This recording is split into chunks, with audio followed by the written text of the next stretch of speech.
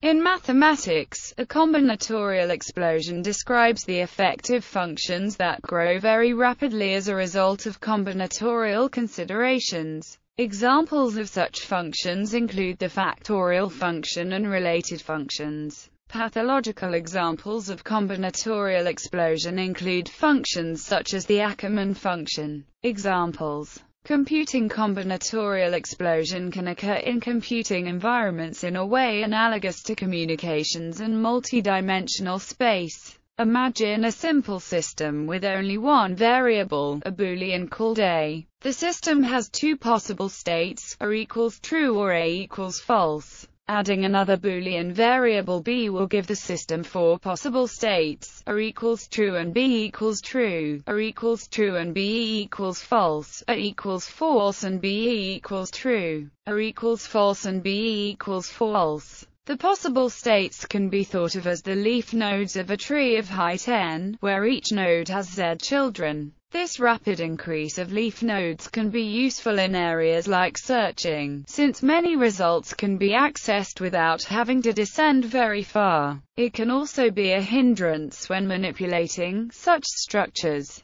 Consider a class hierarchy in an object-oriented language. The hierarchy can be thought of as a tree, with different types of objects inheriting from their parents. If different classes need to be combined, such as in a comparison then the number of possible combinations which may occur explodes. If each type of comparison needs to be programmed then this soon becomes intractable for even small numbers of classes. Multiple inheritance can solve this by allowing subclasses to have multiple parents and thus a few parent classes can be considered rather than every child, without disrupting any existing hierarchy. For example, imagine a hierarchy where different vegetables inherit from their ancestor species. Attempting to compare the tastiness of each vegetable with the others becomes intractable since the hierarchy only contains information about genetics and makes no mention of tastiness. However, instead of having to write comparisons for carrot, carrot, carrot, potato, carrot, sprout, potato, potato, potato, sprout, sprout, sprout, they can all inherit from a separate class of tasty whilst keeping their current ancestor-based hierarchy. Then all of the above can be implemented with only a tasty, tasty comparison. Arithmetics Suppose we take the factorial for n then 1 equals 1 equals 2 equals 6 and 4 equals 24. However, we quickly get to extremely large numbers, even for relatively small n. For example, 100 equals 9.332625154 times 10,157, a number so large that it cannot be displayed on most calculators and vastly larger than the estimated number of fundamental particles in the universe.